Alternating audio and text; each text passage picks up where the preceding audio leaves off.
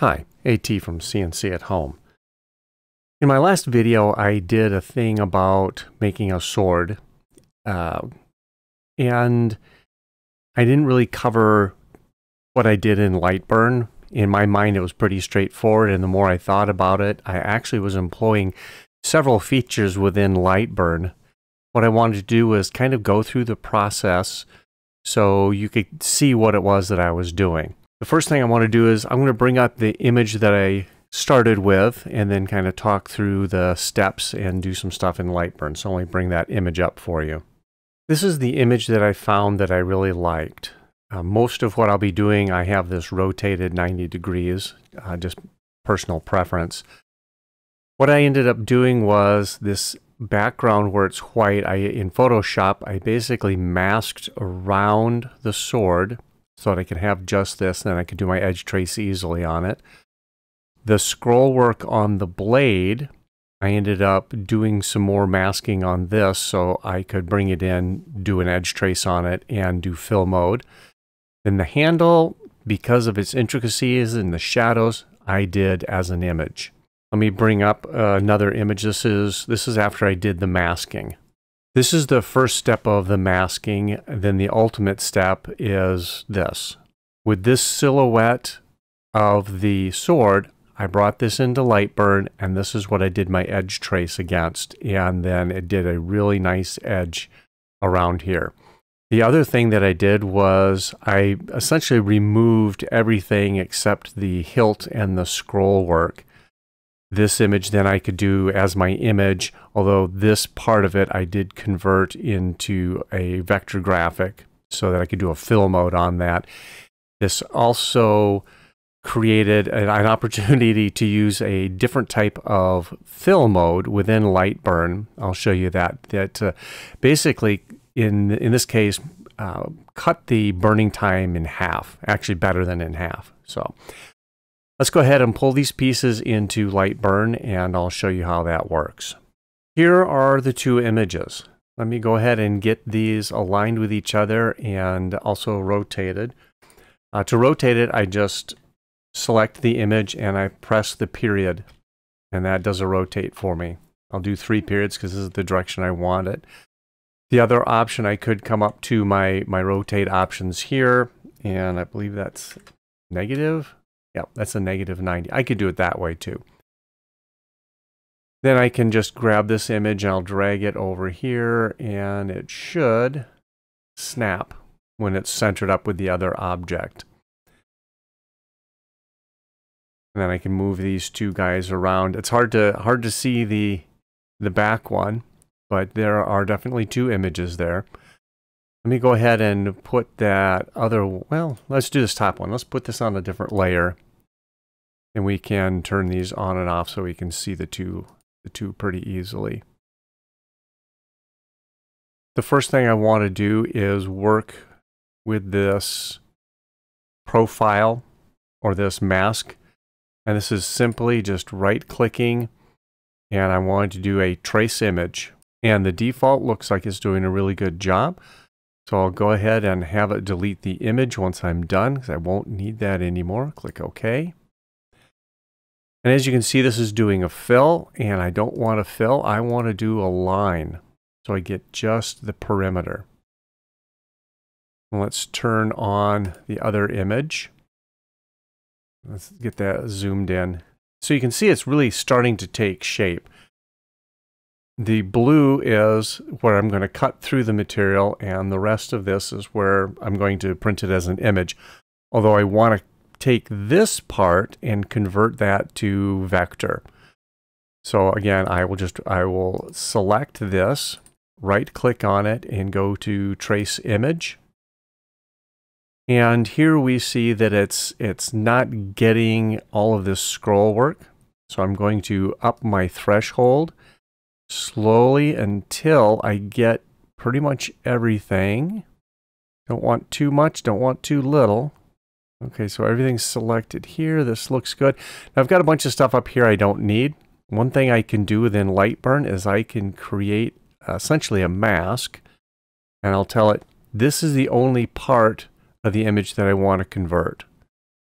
So I'll go ahead and do that. You'll see the rest of this disappears.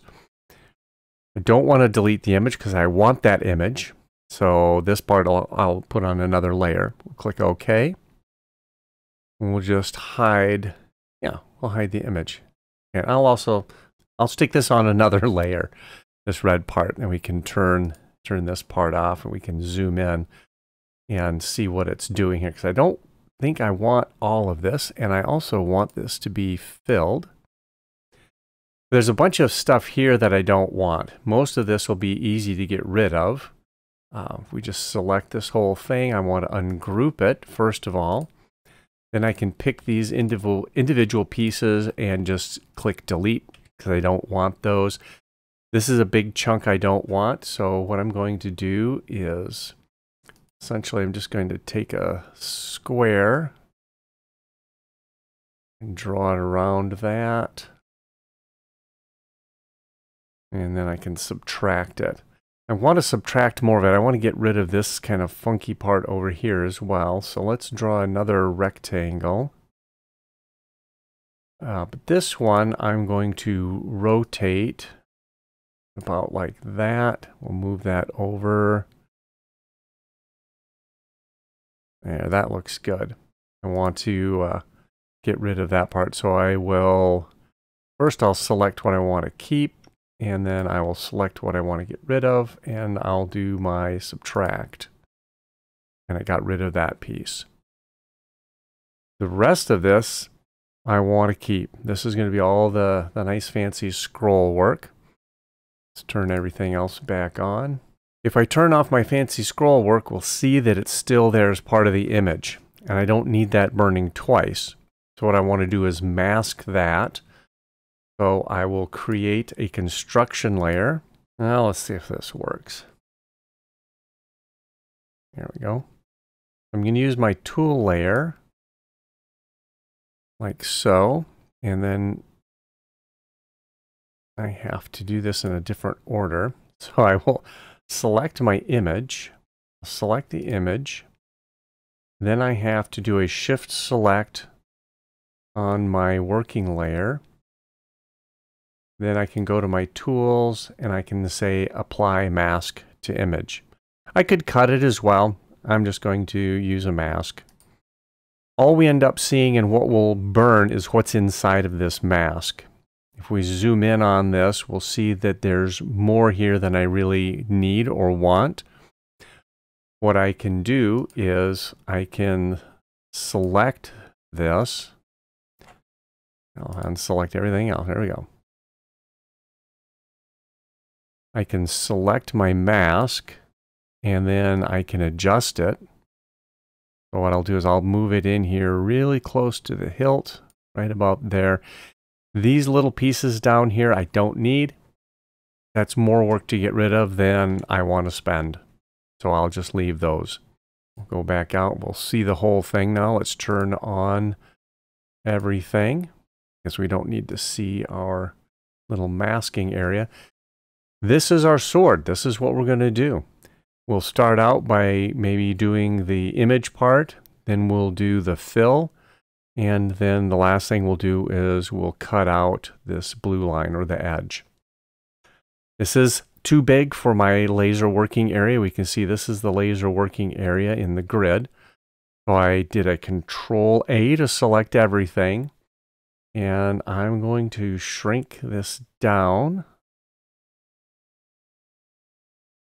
And I'll move it over here a little bit. Okay, we're still we're still on the big side. So let's shrink this down a bit more. That looks pretty good. Now I'm flirting with the uh, limits, my cutting limits. If I wanted to, I could rotate this whole thing and do something diagonal across my working area and make it quite a bit bigger. That's just going to be too big for what I want to do right now. So we'll leave this. This looks pretty good. Other than it looks like my mask did not move. Oh, that's unfortunate. So let's uh, let's back everything up here. Get everything in where it's supposed to be. Here we go. I'm not sure why that didn't get selected. Oh, because I wasn't showing it maybe. Let's try that. We'll do our control A to grab everything. There we go. We'll shrink this down, move it. We'll shrink it down just a little bit more.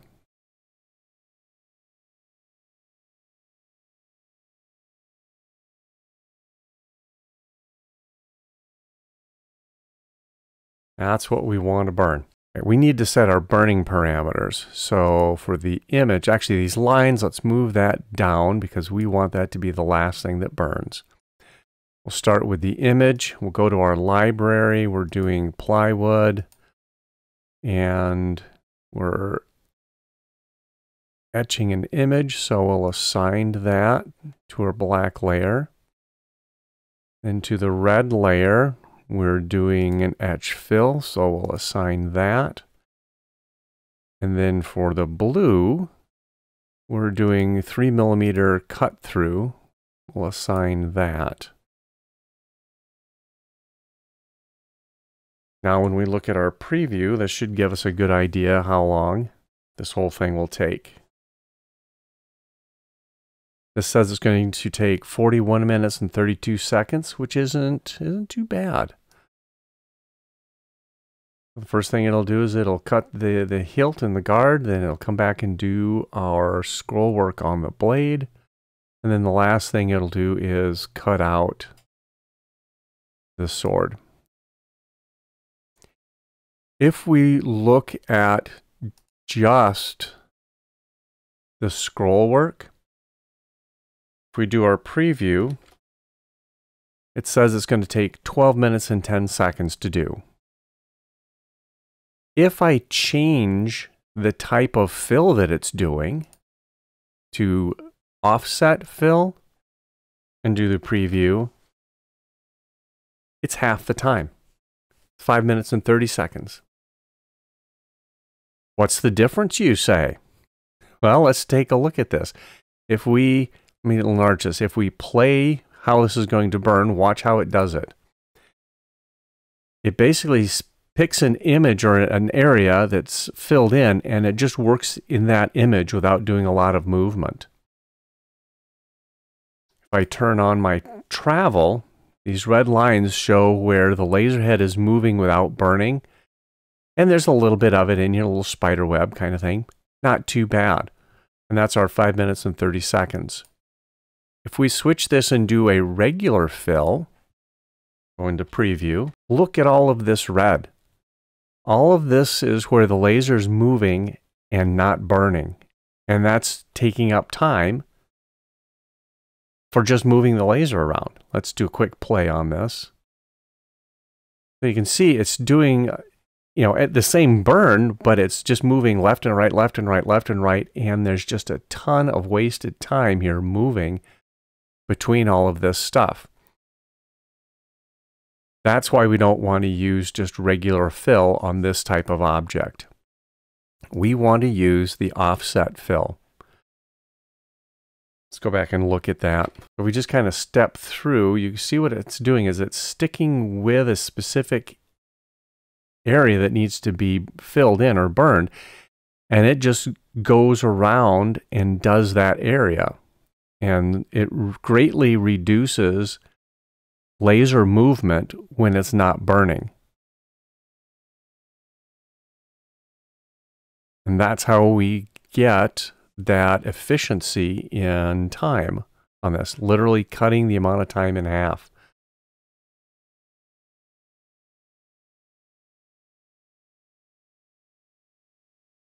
That's all there is to it. That's how I did all the design work within LightBurn to get the edge where I could get that burned. I could get the image for the handle. It turned out nicely. Then the scroll work here, I converted into vectors so we could increase the speed.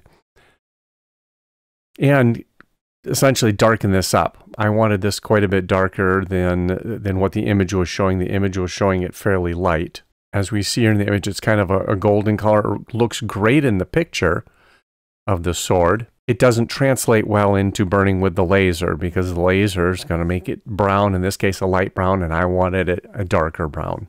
I ended up doing some painting on my version of this sword and using some silver spray paint. I painted both sides with a light coat. I didn't want to cover it too much because I wanted the wood grain and the the scroll work to come through.